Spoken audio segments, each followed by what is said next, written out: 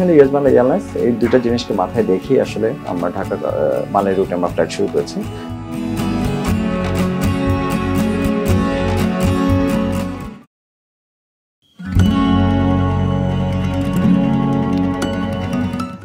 ভারত মহাসাগরের বুকে প্রায় বারোশো ছোট বড় দ্বীপ নিয়ে গঠিত বিশ্বের অন্যতম সুন্দর দেশ মালদ্বীপ।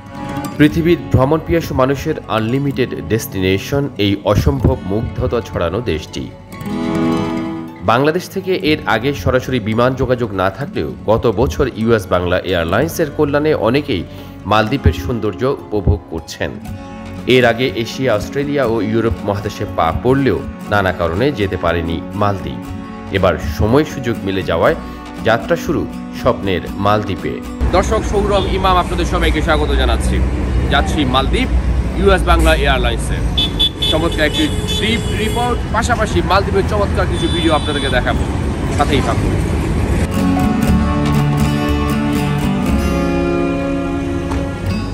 সিকিউরিটি বোর্ডিং আর ইমিগ্রেশন শেষে বলাকায় দুর্দান্ত ব্রেকফাস্ট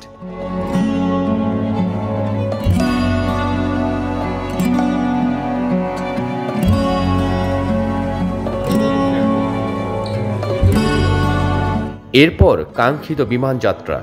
একটি বাসে আমাদের নিয়ে যাওয়া হয় নির্ধারিত বিমানের কাছে। শুরুতেই ইউএস বাংলা এয়ারলাইন্সের কেবিন ক্রুদের আন্তরিক অভ্যর্থনা। যাত্রা হলো শুরু।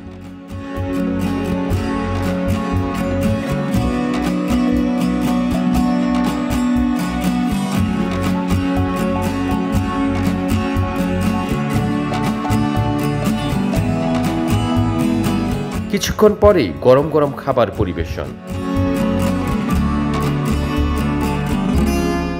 আহা, দুর্দান্ত খাবার। মাঝে পুরো কেবিন ঘুরে আসলাম।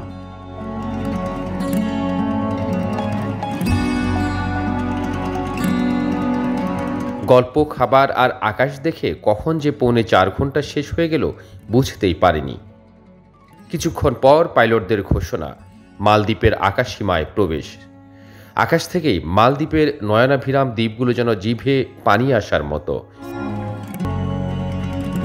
এরপর মালদ্বীপে অবতরণ।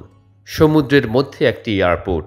প্রথমে মনে হচ্ছে যেন সমুদ্রেই বুঝি নামছে বিমানটি।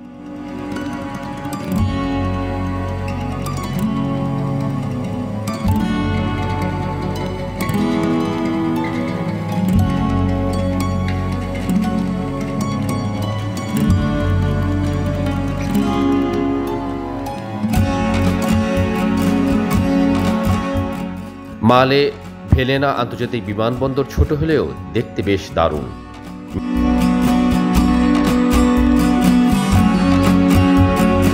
ইমিগ্রেশন ও ব্যাগেজ নিয়ে বের হতেই সমুদ্রের সৌন্দর্য ভ্রমণ ক্লান্তি একদম শেষ।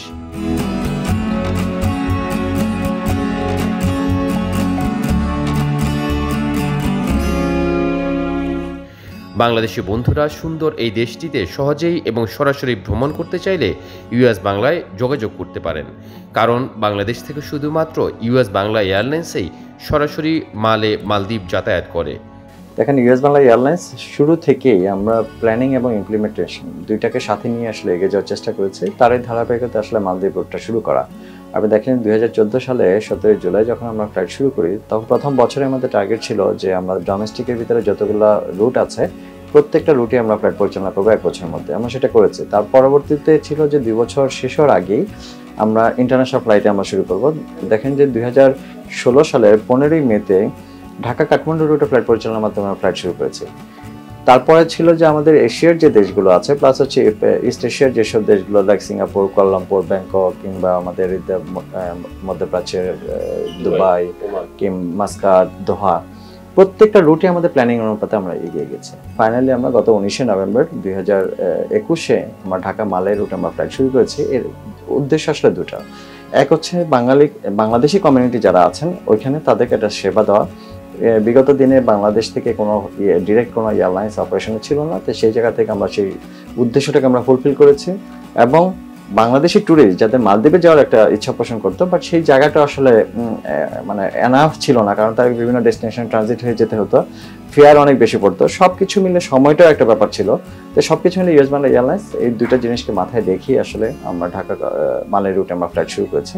নেক্সট ফেজে আমরা কলম্বো রুটে প্ল্যান করছি, আমরা সার্জাতে প্ল্যান করছি, দিল্লিতে প্ল্যান করছি। ইনশাল্লাহ আমরা সব কিছু ঠিক থাকলে আমাদের পরিকল্পনা অনুযায়ী আমরা সেই রুটগুলো আমরা শুরু করতে যাচ্ছি খুব সহসাই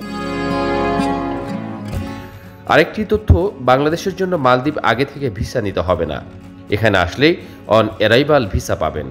প্রিয় দর্শক আজকের মতো বিদায় নিচ্ছি। আল্লাহ হাফেজ।